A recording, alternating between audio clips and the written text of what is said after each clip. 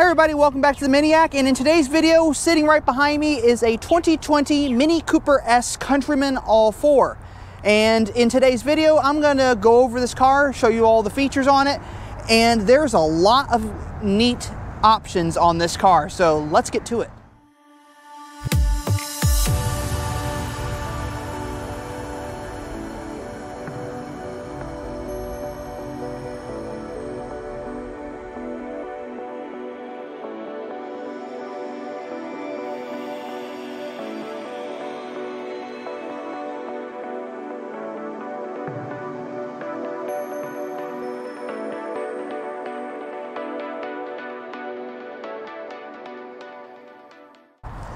So for starters, you all see that this car is in British Racing Green with a black roof, black mirror caps. It has the Night Jack side scuttle caps.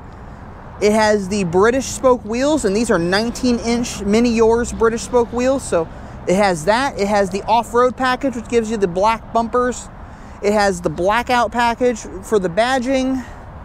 This black door handles, this car has everything. And inside, it's all luxury. This is the Chesterfield leather in light oak, which is going to be renamed British oak actually. So pretty nice. You got the Mini Yours steering wheel, paddle shifters. You have the eight-speed automatic. This is an all-four car, so it's all-wheel drive. It the list goes on. And if you go to the back, plenty of room to fit three people. And it also has the USB-C ports, so that's a new one. Very, very nice, very comfortable.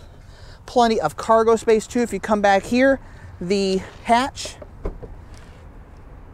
automatic open. And if you push the button up here, it would close it. So as far as cargo space, big trunk area. And if you flip up the load floor, even more storage below that. And it looks like this even has, yep, this has a compact space saver spare tire as well. So you get that with this car, which is nice. You also get extra Mini Yours mirror, er, or wheel caps. So fold that back down. And if you want to increase the cargo capacity of your Mini, pull this lever here, or this strap, I should say. And seat folds flat. And it's a flat load floor, so you can get large boxes or what have you in and out of the vehicle fairly easily. And then when you need to shut the hatch, you push the button and it comes back down.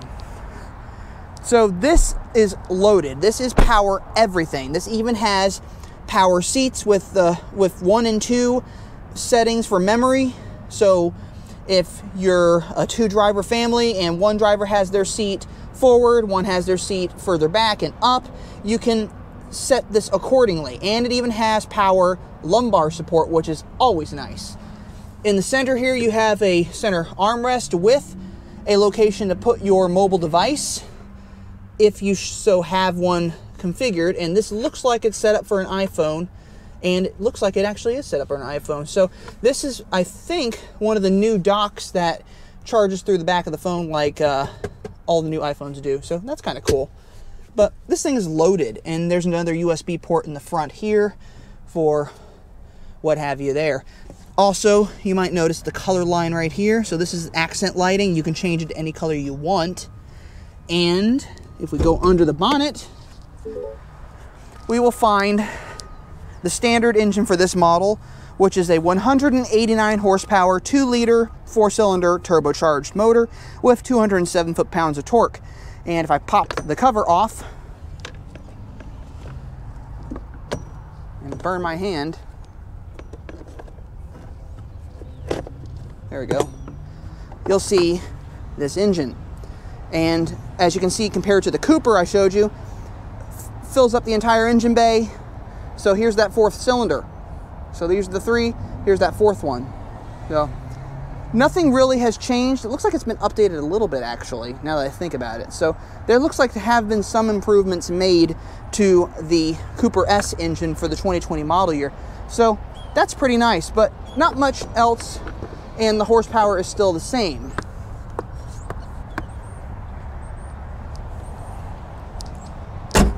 This vehicle also has the black piano black trim and piano black grille. There's the black badging some more. LED headlights, LED fog lights, forward sensors. So if you notice, this car has sensors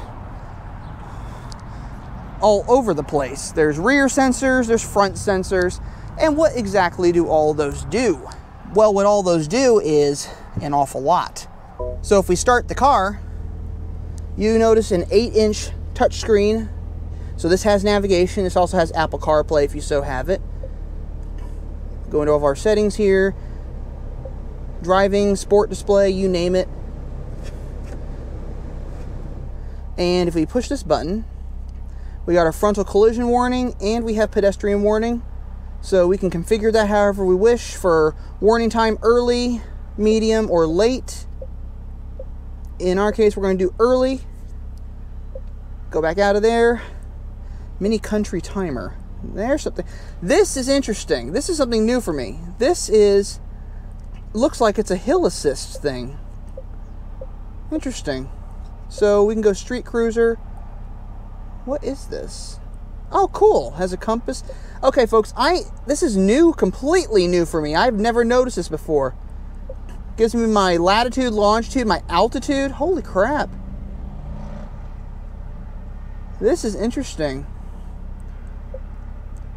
I've never noticed this before. So that is whatever that is. So I guess this is if you're off on a trail or something. That's neat. Huh, I learn something new every day. So I didn't even know that was there. Now, if I put the car in reverse, you'll notice that I have a parallel parking button right here. That is my automatic parallel parking. So this car will park itself. I got my reverse camera, I got my parking sensors, and all that stuff. So this should, in theory, park itself. And I'm going to try to see if I can demonstrate that. So anyway, I'm going to find a spot where I can parallel park this car.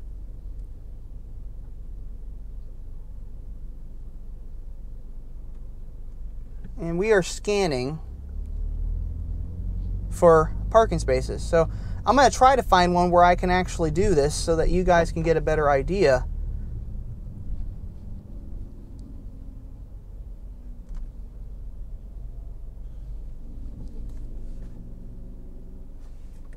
And I found one.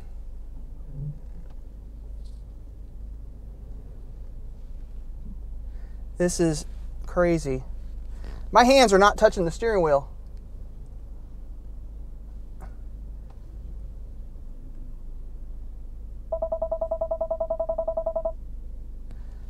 Holy crap.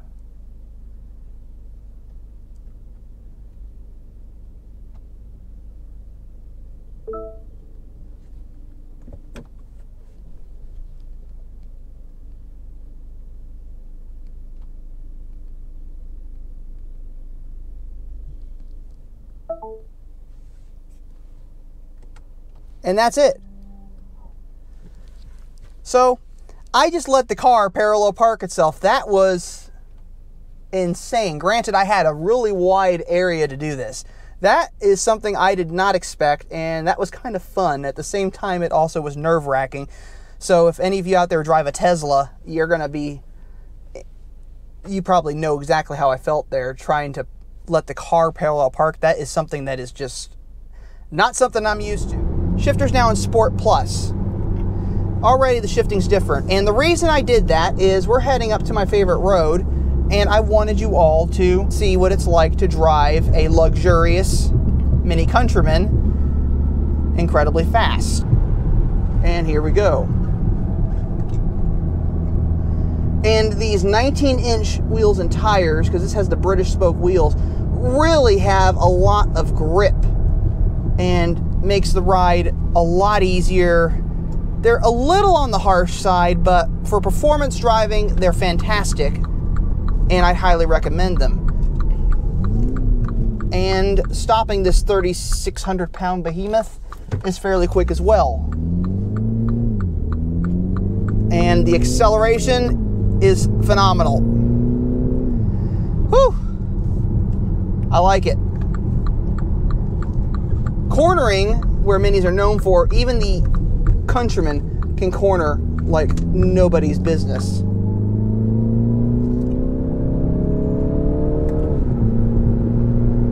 And this is no exception.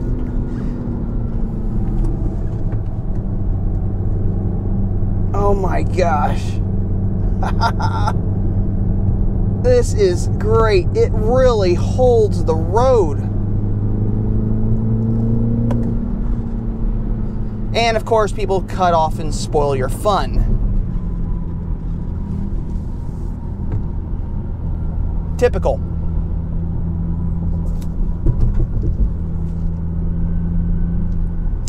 So, the stability control in this is phenomenal. The traction control in this is phenomenal. The all four system makes this a very capable vehicle.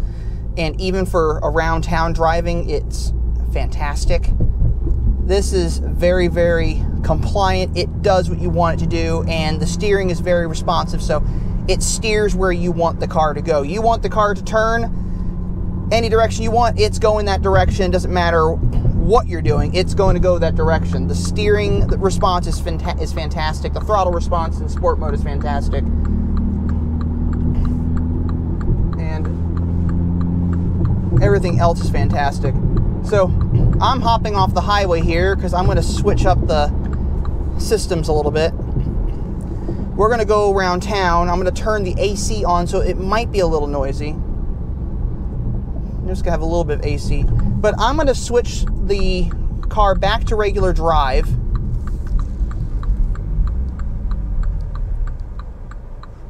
And I'm going to put the car in eco mode or green mode. So we're now in green mode. And this now is minimalism motion. So engine running,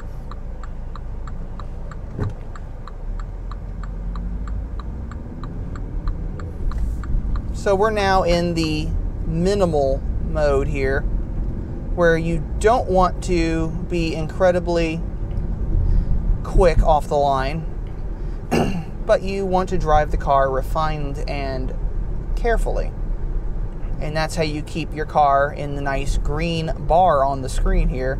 So if you accelerate, it goes down and if you brake, it goes up. So it's kind of a very slow mode. And honestly, I've heard the green mode. I've heard a lot of people who have green, who have the current generation minis. They use green mode in the wintertime because it changes the way the car shifts. So driving on snow and ice actually makes it a little bit easier, a little bit more tolerable, and a little bit less dangerous. So kind of a neat thing to do there. I really like that. So it's very casual, very quaint. Yes, it's alerting me that the engine is running. My minimalism analyzer, my uh, fish in the fishbowl looks a little pissed. He doesn't look very happy at me. So, so along with all the other bells and whistles that this car has, it also has the heads-up display, which I really like. Compass in the mirror, has an alarm, it has everything. I mean, this is incredible. This car is seriously loaded. And 45,000 is what the price is on this. That's actually not that bad for what is basically a small SUV. So, I like it. This was really fun driving this, and I hope you enjoyed this little overview of the car. Tune in next time when I actually go out and do a little handling video, and then the following video after that will be a performance video where I put this car through its paces.